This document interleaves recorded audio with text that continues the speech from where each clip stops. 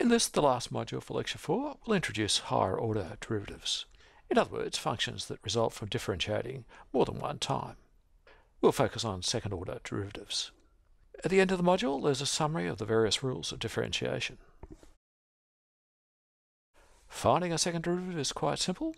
Given the first derivative of a function, we just differentiate one more time. A necessary condition is that the first derivative is differentiable. That being so, we apply the differentiations to f prime x. These are two of the most common ways of writing a second derivative. And now let's look at an example of finding a second derivative of a function. We have f of x is equal to 2 times x to the fifth minus 3 times x cubed plus 2x. f prime x will equal, well, 2 by 5, 10 times x to the fourth minus 3 by 3, 9 times x squared plus 2. We simply differentiate the first derivative. So f prime prime x will equal d squared y dx squared is equal to 40 x cubed minus 18x.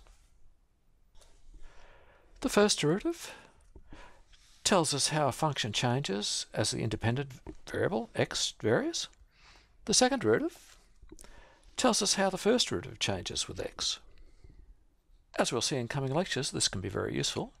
But before proceeding, uh, let's consider a classic example of the relationship between a function and its first and second derivatives. We have an object whose position is given by the variable x, and x is a function of time, so x equals x of t. We'll look at three cases. The first case, where xt is equal to some constant. Looking at the graph of that, we'll have a horizontal line with an intercept a. The first derivative, x prime t, is equal to 0 the line's horizontal, so the slope is 0. x prime prime t, the second derivative, of course, is also equal to 0. Our second case, in our second case, we have an object moving at constant velocity. So we have xt is equal to a plus bt. So x is a function of time. The graph will have our intercept a there and the slope is equal to b. The first derivative, x prime t, is equal to, well, b. So we have a constant slope. The velocity of the object doesn't depend on time. The second derivative, so differentiating x prime t, will equal 0. So we see that x prime t, the first derivative, isn't changing. We have a constant slope. The third case is where we have an object that's accelerating. So x of t might equal something like ct squared plus bt plus a. We'll only consider the case where t is greater than or equal to 0. We can graph that. We'll have the right-hand side of a quadratic function with an intercept of a. The first derivative, x prime t, is equal to 2ct plus b so the slope is a function of time. We see the slope changes depending on t. The second derivative is equal to 2c. So the second derivative is constant. It tells us that the first derivative changes at a constant rate, 2c. The second derivative tells us more than just how the first derivative is changing. We can use it to find important information about the function itself. In this module, we'll look at the concept of concavity and convexity. In the next lecture, we'll also see how the second derivative gives us information about maximum points and minimum points on functions. So let's look at convexity and concavity. The function on the left is convex. A convex function is more or less bowl-shaped over an interval. We'll consider a more formal definition in a moment. On the other hand, on the right, we have a concave function. A concave function is like an inverted bowl. You might think of it as forming a, a cave. Let's look at how the first derivative is changing for each of these functions. For the convex function, we start on the left where the slope is negative. At the minimum point, the slope is zero, and then the slope becomes positive. At some point here, we might have a slope of minus 1, that is 0, and on the side it will be plus 1 somewhere. So we go from minus 1 to 0 to plus 1. That means the change in the first derivative is positive. Our second derivative then is positive. So that's a characteristic of convex functions. We have a positive second derivative over the interval. On the other hand, with concave functions, on the left of the function, we start with a positive slope. At the maximum, we have a slope of 0, and then a negative slope.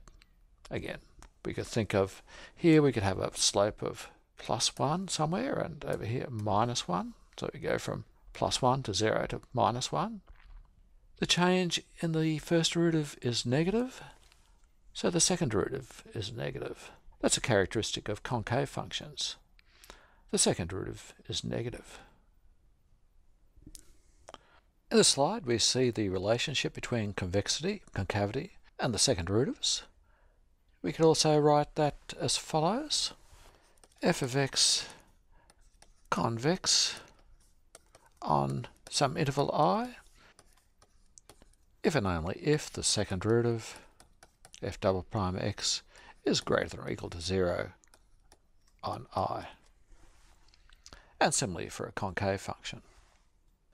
F of x is concave on i if and only if the second derivative is less than or equal to 0 on i. We also have some formal definitions of convexity and concavity here. Let's see how those work. So we have our formal definition of a convex function here. On the left side of the inequality we have f of x1 plus x2 on 2 is less than, on the right hand side, f of x1 plus f of x2 on 2. Let's go through that and see what it means. We have a convex function. Have x1 and x2 greater than x1. They're in some interval i, we have f of x1 and f of x2. Now if we take the average of x1 and x2, so x1 plus x2 on 2, go up to the function across, then we have f of x1 plus x2 on 2. So it's the value of the function when x equals the average of x1 and x2. That's the left-hand side of the inequality. Our next step is to join these two points on our function with a secant. Now if we go back to f of x1 plus x2 and go up vertically and across, that's where we get f of x1 plus f of x2 on 2. x1 plus x2 on 2 is the midpoint between x1 and x2. If we used a bit of simple geometry, we could see that f of x1 plus f of x2 on 2 is the midpoint between f of x1 and f of x2. So what our inequality is telling us is that if f of x1 plus x2 on 2 is less than the midpoint between f of x1 and f of x2, then we have a convex function. Of course, that's going to occur when our function lies below a secant joining two points such as x1 and x2. If we had a concave function and go up and across, then we would see f of x1 plus x2 on 2 would be above the midpoint for f of x1 and f of x2. Our function lies above that straight line joining x1 and x2. This is just another way of writing the fact that if our function lies below a line joining two points, uh, then it's convex. If the function lies above that line joining two points, it's concave.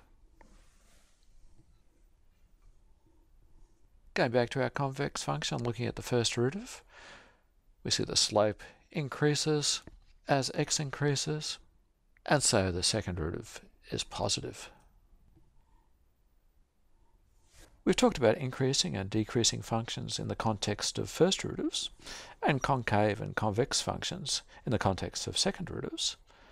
We'll now bring those ideas together. A function can be convex on an interval and be increasing or decreasing. Similarly, it can be concave on an interval and increasing or decreasing. Let's look at those combinations. First, an increasing convex function. Second, a decreasing convex function. So both of these functions are convex. Now, an increasing concave function. Concave but increasing. And a decreasing concave function.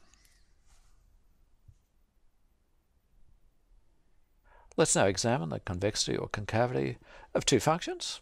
First, a familiar quadratic function, then a simple production function. Our function f of x is equal to x squared minus 2x plus 2. We can see what the function looks like from the graph, but it's not always possible to graph a function. We can use our first and second derivatives to analyse the shape of the function. The first derivative, f prime x, is equal to 2x minus 2. The second derivative, f prime prime x is equal to 2. We can draw a simple sign diagram to see where our function is increasing and decreasing. First we'll lift f prime x equals 0. That implies 2x minus 2 is equal to 0. X is equal to 1. Where f prime x is equal to 0, we have our minimum point there at uh, x equals 1. We draw a little dot line diagram.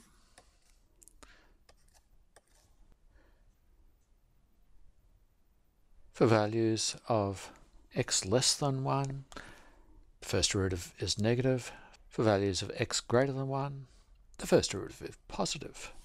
For less than 1, f of x is decreasing.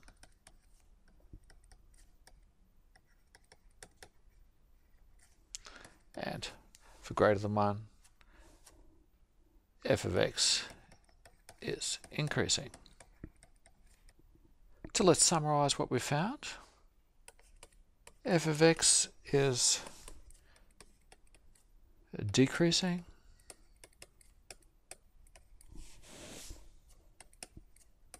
in interval minus infinity to 1 and f of x is increasing in the half-closed interval 1 to positive infinity. The second derivative is always positive. That implies our function f of x is convex from minus infinity to plus infinity. In this example, we have a simple production function. K is the amount of capital used in the production process, Y is the output. Uppercase a and lowercase a are constants. We have no labour in this production function. Perhaps it's some time in the future when robots do all the work and all the humans are on the beach enjoying themselves.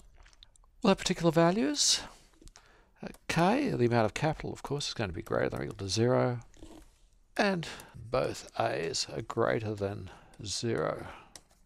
While the exponent little a is positive, it can either be between 0 and 1 or greater than 1. Let's look at those two cases.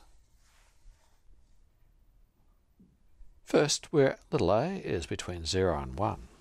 We'll take the first derivative, y prime is equal to a times little a times k to the a minus 1. And the second derivative is equal to uppercase a, lowercase a, and then a minus 1 times k to the a minus 2. Let's look at these particular values. So uppercase a is positive, lowercase a is positive. If little a is between 0 and 1, uh, this will be a negative coefficient, but still k to the a minus 1 will be positive. So implies y prime is greater than or equal to 0 is positive. We have an increasing function. In the case of the second derivative, uppercase a is positive, lowercase a is positive, a minus 1, now that's going to be negative. And then still k to the a minus 2 will be positive. That implies that the second derivative is negative, and we have a concave function. Given that the first derivative is greater than 0 and the second derivative is less than 0, we have an increasing and concave function. We can draw a rough graph. k on the horizontal axis, y on the vertical axis. Our intercept is 0. It's increasing and concave to a production function with a between 0 and 1. Looks something like that. For a greater than 1, we'll have uh, y prime, first derivative, is equal to a little a k to the a minus 1. a is positive, little a is positive, k to the a minus 1 is positive. So it implies that y hat is greater than 0. Our second derivative is equal to a little a, a minus 1 k to the a minus 2, positive, positive. This time a minus 1 is positive since a is greater than 1, positive. So all four terms are positive and our second derivative is greater than 0.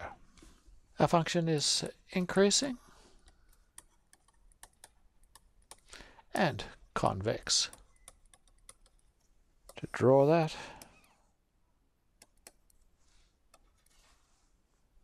just increasing and convex. The y-intercept is 0,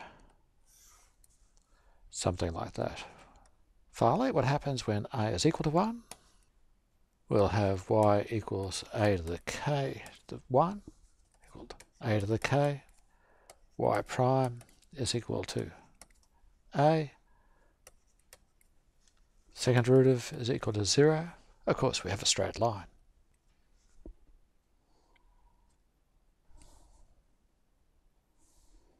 The last two slides in this module summarize the rules of differentiation that you should be familiar with.